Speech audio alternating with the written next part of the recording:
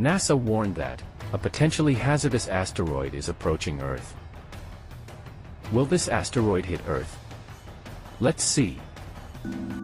Asteroid named 2024 CR9, discovered on February 15, 2024, belongs to the Amor group.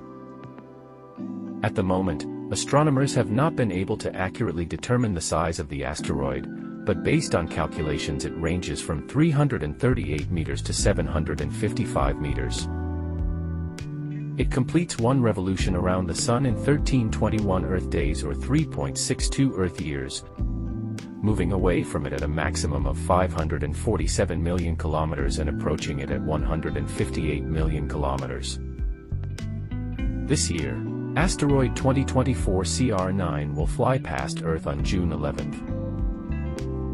Will this asteroid going to hit Earth?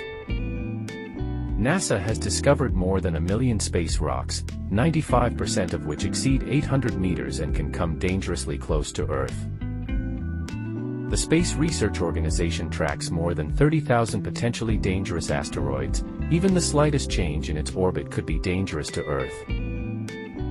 The potentially hazardous asteroid 2024 CR9 will have a relatively close and obviously safe encounter with us, coming at about 7.4 million of km from the Earth, 19 times the average lunar distance.